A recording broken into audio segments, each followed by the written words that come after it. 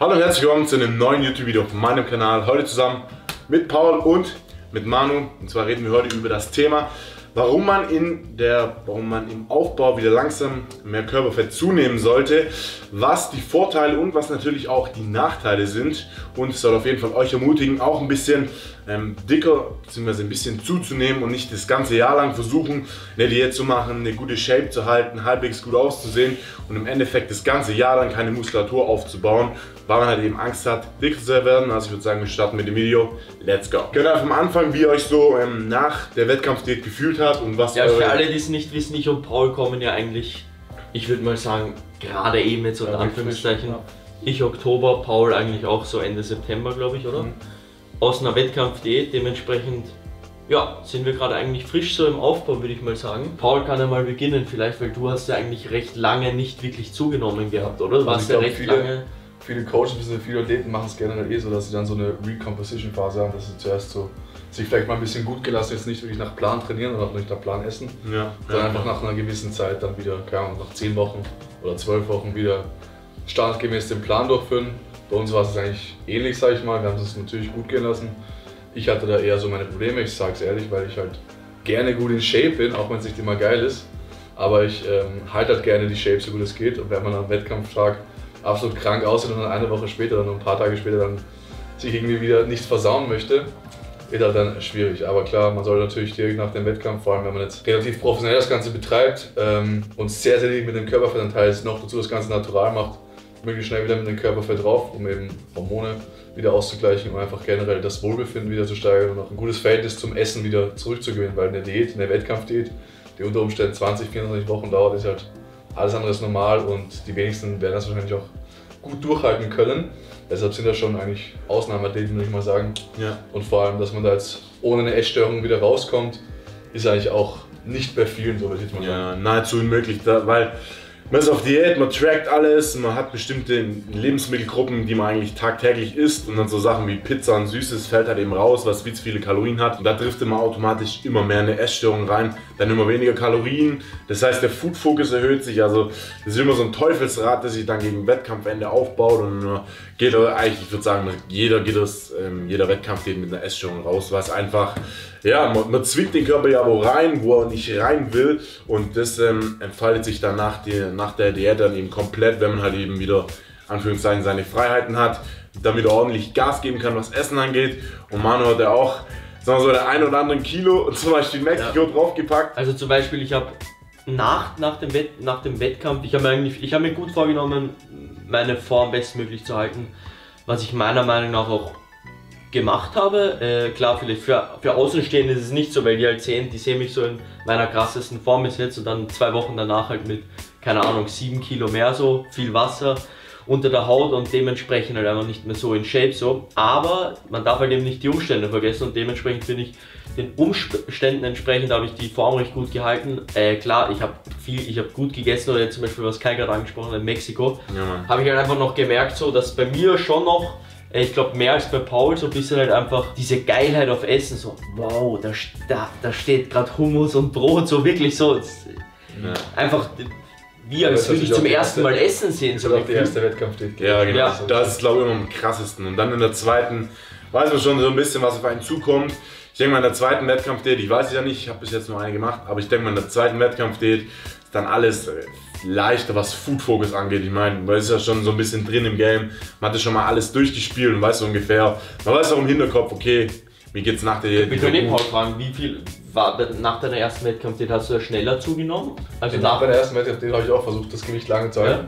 Habe aber absolut scheiße ausgesehen. Also ich hatte trotzdem vielleicht so auch nur so 3-4 Kilo über Wettkampfgewicht, war einfach immer so bei 100, 102, aber einfach dünn und, sag ich mal, wässrig ausgesehen. Ja, so. ja, und das ja. war eigentlich ein ganzes halbes Jahr so, weil ich einfach mich nicht getraut habe, jetzt mit den Kalorien viel höher zu gehen, da ich mich einfach in der Form jetzt nicht so wohl gefühlt habe.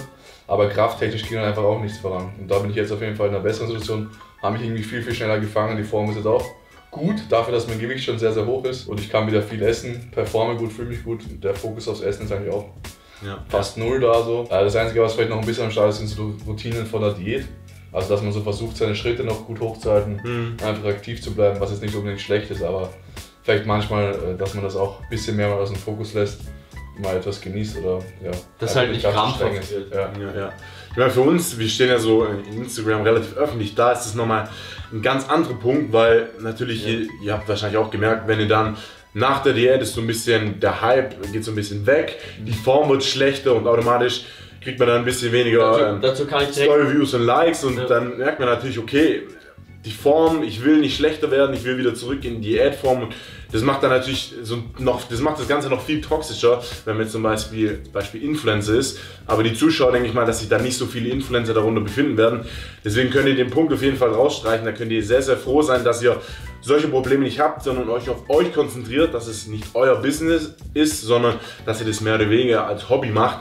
Und dann könnt ihr auch guten Gewissens mal ähm, ordentlich was zunehmen nach einer Diät, beziehungsweise ähm, nach einem Wettkampf. Denn, wie Paul schon gesagt hat, wenn man das nicht macht, wenn man versucht, sein, versucht seine Form zu halten, dann passiert nicht viel. Der Körper hat noch relativ, ähm, relativ viel Stress im Körper, da der Körperfettanteil sich relativ niedrig befindet. Das heißt, ihr bekommt sehr, sehr schnell Wassereinlagerung.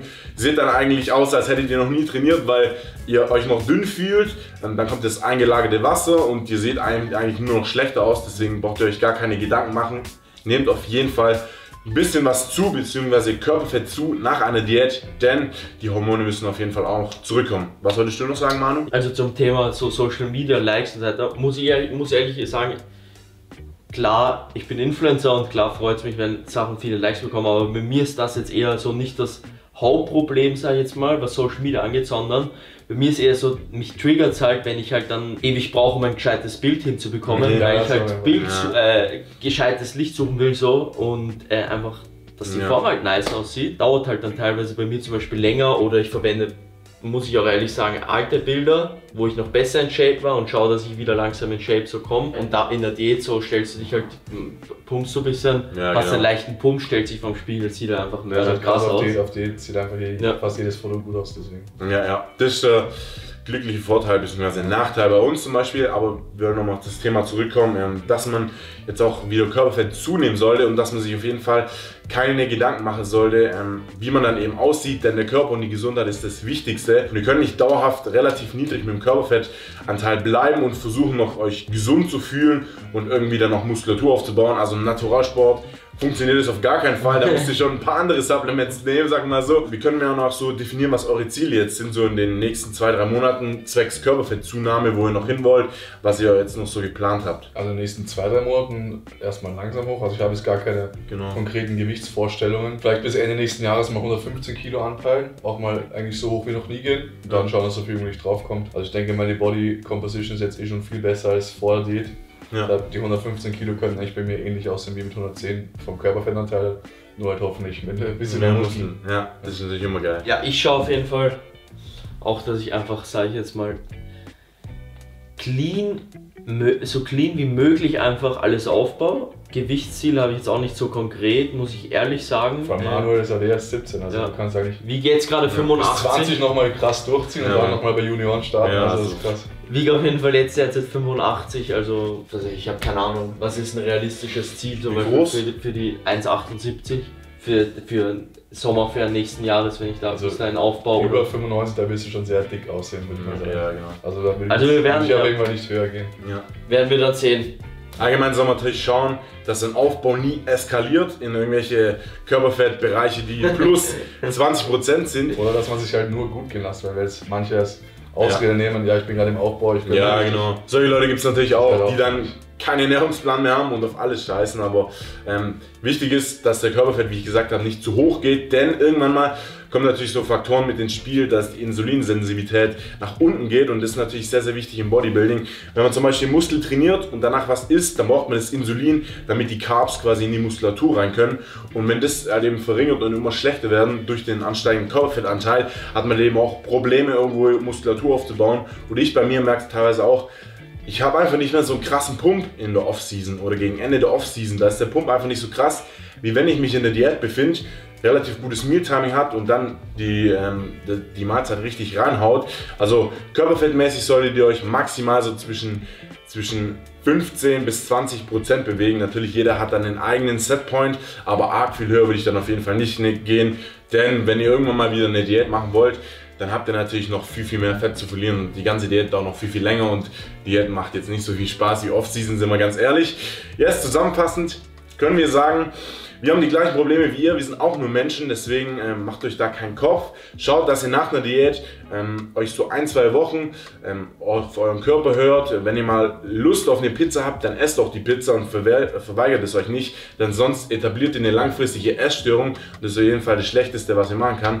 Denn Leonie zum Beispiel, die hatte zwei oder drei Jahre lang nach ihrem Wettkampf eine Essstörung und Essanfälle und ähm, das will, glaube ich, niemand, dass es in solchen Binge-Anfällen mündet. Deswegen hört auf euren Körper, gebt euren Körper das, was er braucht.